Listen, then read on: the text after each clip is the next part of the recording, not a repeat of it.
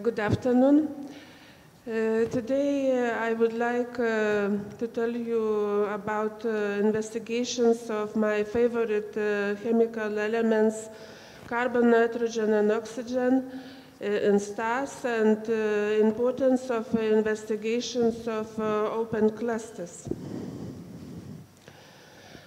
Uh, stellar uh, chemical composition uh, uh, is also an important uh, subject um, of uh, studies for astrobiology. Recent uh, spectroscopic uh, studies uh, show that stars uh, hosting planets are relatively more metal rich than um, those uh, without uh, planets uh, detected. One of the possible interpretation of this fact is the so-called self-enrichment scenario. It is believed that uh, the origin of, uh, of abundance of uh, metals is related to the accretion of rocky planet, planetesimals um, onto the star. Uh, self-enrichment scenario should be uh, triggered by the action of uh, hot Jupiters migrating uh, from outside uh, the planetary disk. Uh, during this migration, planetesimals from the disk are accreted on the, the star. This, the self-enrichment scenario could lead to relative overabundances of refractory chemical elements uh, such as uh, silicon, magnesium, calcium, titanium, iron group elements um, in comparison to volatiles such as carbon, nitrogen, uh, oxygen, sulfur, and um, zinc. It was a very interesting uh, recent uh, study in uh, 2014 when uh, a triple um, stellar system, uh, 16 uh, Cygnus, uh, uh, was investigated. We know that uh, uh, exoplanet uh, was uh, founded uh, near Cygnum um, B, and uh, those stars uh, certainly formed from uh, the same um, chemical material and uh, uh, there we expect uh, that uh, the chemical composition should be the same. However, it was found that um, when comparing uh, the chemical composition of uh, uh, two stars, Cygnum A and Cygnum B, uh, we, we see uh, some difference. Um, we see the difference uh, also in uh, carbon and oxygen, volatile elements, uh, but uh, this difference uh, uh, could be caused by uh, giant uh, planet enve- envelopes, uh, when those uh, planets fall to the star and uh, refractory elements, uh, they cause extra abundance difference and uh, they are caused from uh, rocky uh, material uh, accretion on the star.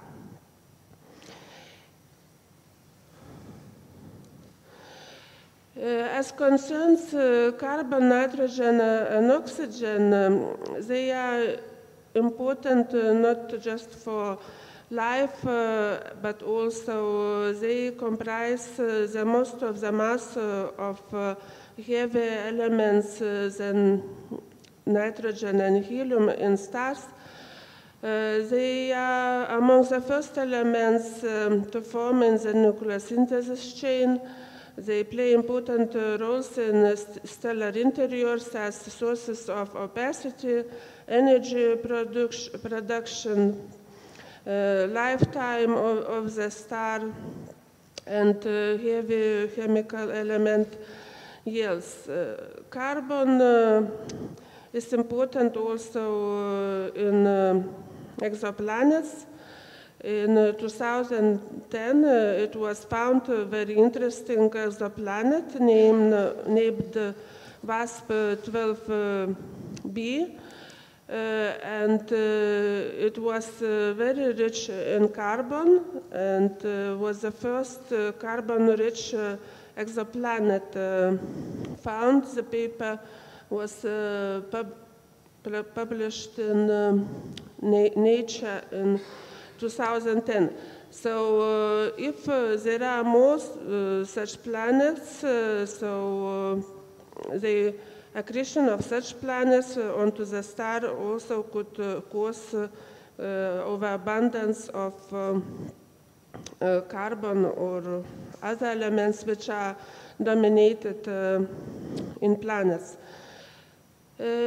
Analyzing stars with planets and comparing the chemical composition with stars for which planets were not detected. there are papers Uh, which uh, uh, states that, for example, planet hosting stars could be, for example, nitrogen-rich.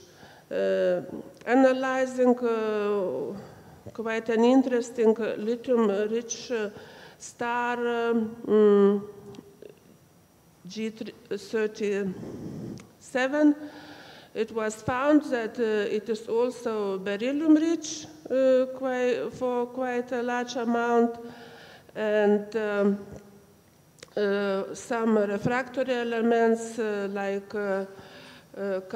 calcium, iron, also are overabundant and, uh, for example, uh, carbon and uh, oxygen are underabundant.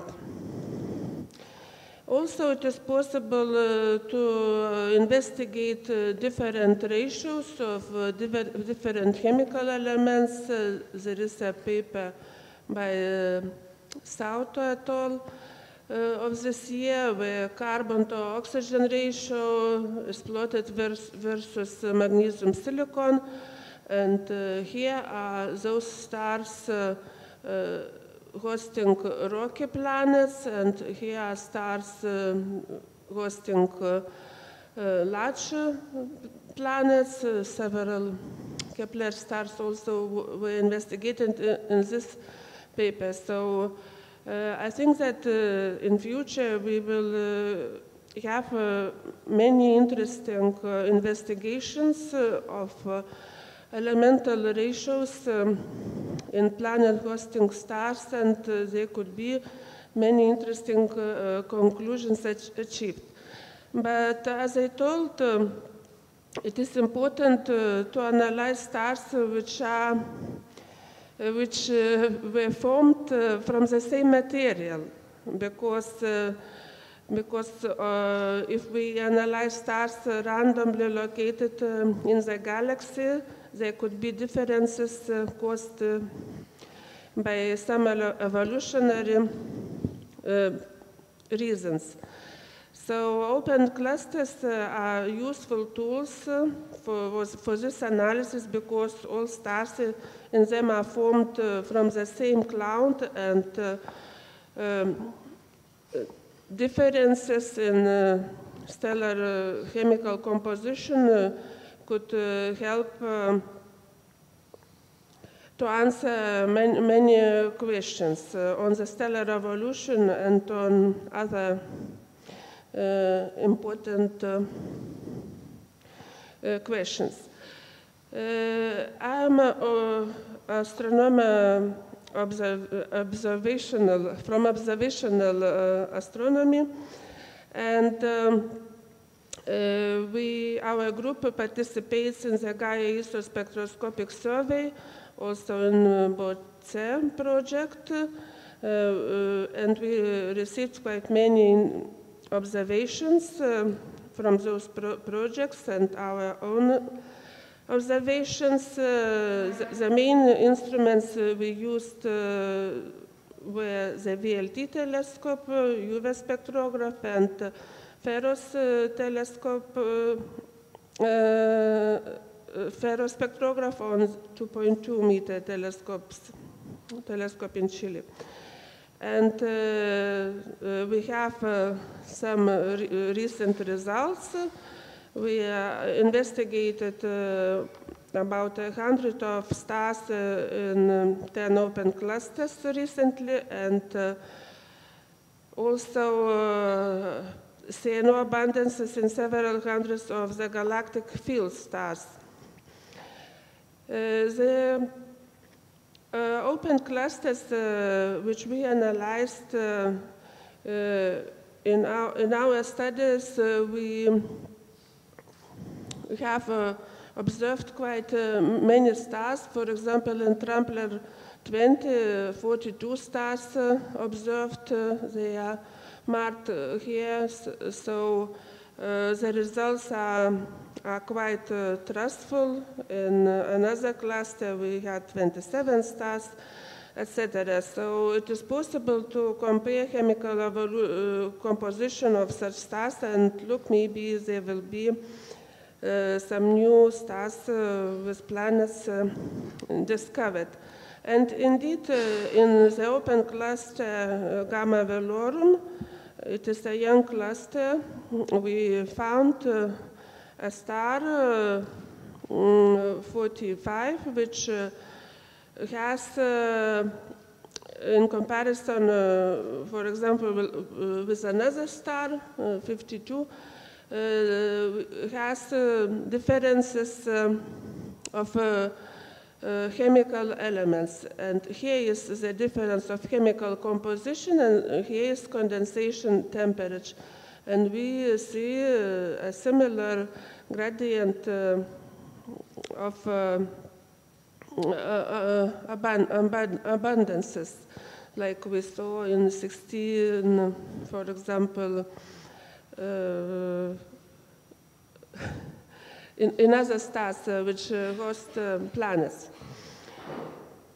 Also, we found uh, mm, one, one cluster, NGC 3960, uh, which uh, has uh, quite different um, carbon uh, 12 and 13 isotope ratios, spanning from uh, 10 to 20.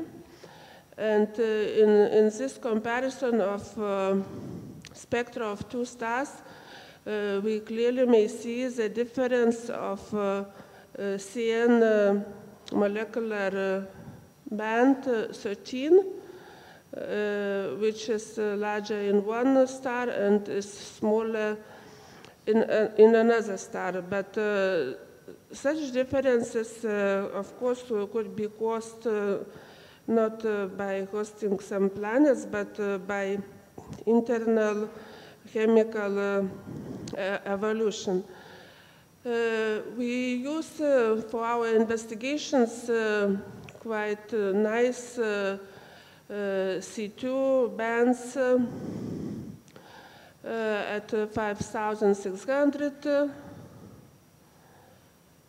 and uh, also uh, at some other mm, regions. uh, and here there are three covers, three synthetic spectra with plus minus 0.1 uh, of abundance around the most uh, uh, suitable value. Here are features uh, of uh, uh, C13N, which are quite strong in, in some stars with low carbon isotope ratio. And here's another example. Those are C12N bands, and here are uh, isotope, uh, different isotope ratios, plus, plus minus 2. So the accuracy is quite good, and uh, here is the oxygen line. And um, uh, as I told, uh, it is important um, to understand uh, which uh, differences uh, in stars are caused by internal evolution and uh, which uh, are caused uh, uh, by the location uh, of the star where it was born. Uh, uh, it is important to understand uh, what are gradients of uh, chemical uh, uh, composition in our galaxy. It is noticed that those dependencies of chemical elements in, in a star, uh, they depend on the position in the galaxy from the galactocentric distance uh, of the star. And uh, uh, those two, uh, those two components, uh, it, it is important to know before answering questions about chemical composition of planet hosting stars, mixing and position of the star uh, in the galaxy. Uh, as concerns uh, mixing, we know that chemical composition of CNO uh, changes uh, during the first dredge up uh, at the bottom of the giant branch, and carbon may change quite comprehensively by decreasing by, by 30%, nitrogen can increase by 80%. And uh, further on the giant branch, uh, some extra mixing uh, uh, happens. Uh, there are several uh, models of extra mixing. Uh, thermohaline induced mixing uh, now is uh, quite um, important model under investigation. There could be influence of magnetic uh, fields uh, and other uh, mechanisms. Uh, we compared uh, uh, models of thermohaline mixing uh, and mixing caused by thermohaline and rotation with our investigations. There are models, there are our mm, results, and uh, what uh, can be uh, told about um, this extra mixing. So that we do not have a model which could uh, fit well uh, carbon isotope ratio at all uh, stellar masses. Here at low stellar masses, um, the models are similar and they fit data. But here, for example, a model of thermohaline mixing and rotation inclu- uh, induced mixing differs from uh, observed data. And here is the first dredge model. And uh, for carbon to nitrogen ratio, at this place we already have some agreement, but here this model, oi, this model is uh, much uh, below. So uh, future work on uh, the investigations of mixing, uh, uh, mixing should uh, be going. And uh, in this plot, I would like to show you the results um, uh, of investigations of 93 dwarfs uh, uh, without planets and uh, 47 dwarfs with planets detected. And uh, comparison of stars with planets and uh, uh, uh, stars without planets for different chemical elements. And there are differences uh, between chemical composition of those stars. Uh, uh, less sensitive is uh, oxygen and barium, and most uh, sensitive is vanadium. But uh, before we make certain conclusions, as I told, we need to, to know where the star was formed, and such uh, studies also may come from open clusters. Here is uh, the paper where we can see the galactocentric distance and gradients of uh, chemical elements, various chemical elements um, coming from open clusters. Uh, we investigated oxygen, so here is oxygen to iron ratio. From the galactocentric distance, oxygen to iron ratio.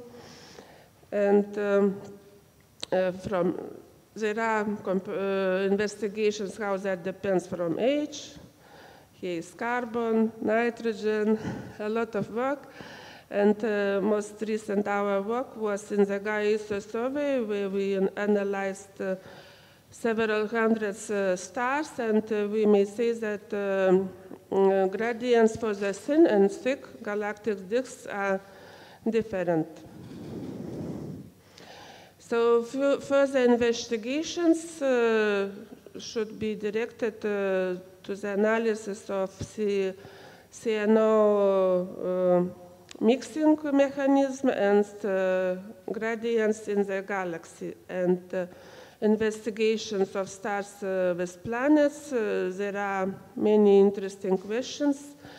What is the relation between stellar atmospheric parameters and exoplanet types, what is the relation between the de detailed stellar chemical composition and presence of various types of, of exoplanets uh, near, near, the star, and um, how uh, accretion uh, changes the chemical composition of the star, and many interesting questions. So thank you for your attention.